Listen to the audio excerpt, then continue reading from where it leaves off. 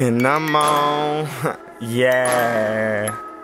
Johnny Giuliano got caught. I'm not a star, I'm just a kid looking in the sky, wishing I was big. These late night thoughts, it's how I feel. So let me pour it out, or just reveal. Behind these walls are covered thoughts. I'm touching hearts. Make you feel me like it's Braille C. I know your mind messed up doing triple C's. You think you rolling, but I've been gone. You niggas try and shut me down, but I've been on. Making his tail the drop of dawn.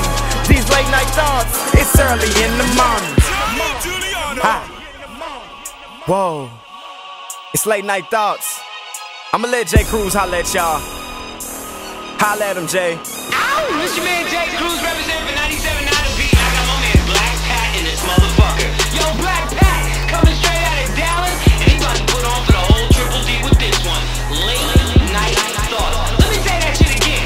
Late Night Thoughts. And this is his first mixtape, so you know what that means. We got more hits to come. So go ahead, homie.